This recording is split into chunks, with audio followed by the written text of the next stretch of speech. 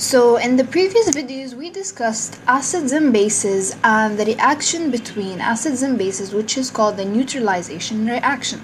Now let's get into some of the types of oxides and we'll see why this fits into the topic of acids and bases. So in this video we're going to study the three types of oxides which are basic oxides, neutral oxides, and finally acidic oxides. Now let's begin with basic oxides. And basic oxides are formed when metals react with oxygen. Now let's take an example. Well, a very famous example and we studied this before is the reaction between copper solid reacting with oxygen gas and that will form copper oxide.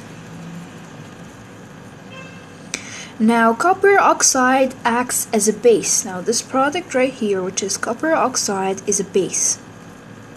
So if we react copper oxide with an acid a neutralization reaction is happening. So let's see. So here we have copper oxide. Reacting with let's react it with an acid like hydrochloric acid.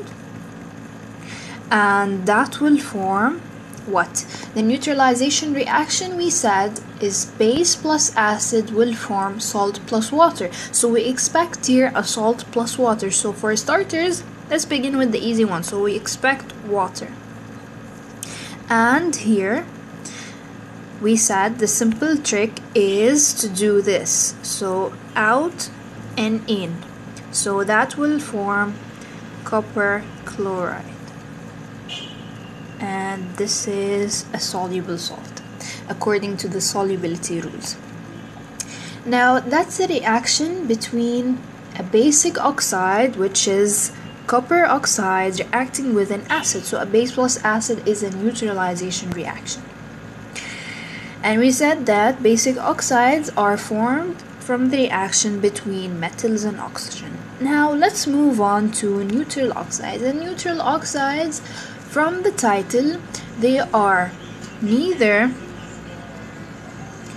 acidic nor basic.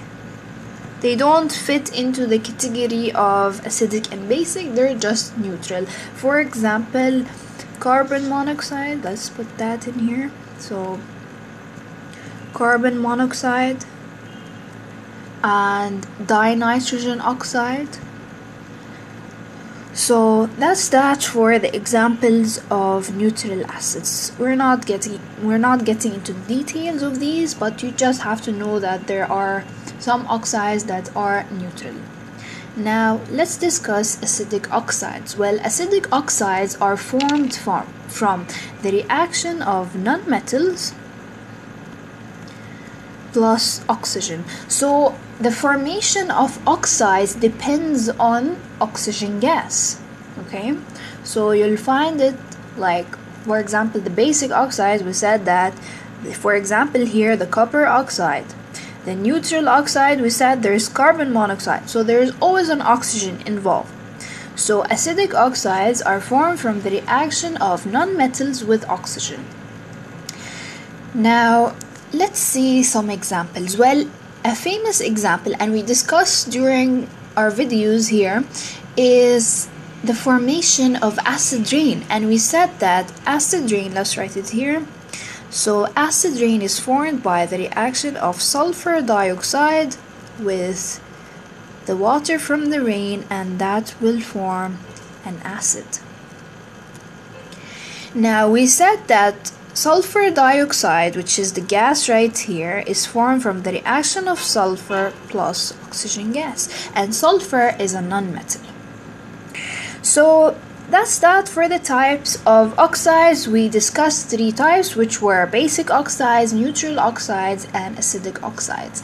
And we said that basic oxides are formed from the reaction of metals with oxygen and neutral oxides we didn't get into the details but you guys have to know that they are neither acidic nor basic and finally we discussed acidic oxides and we said that they are formed by the reaction between nonmetals and oxygen.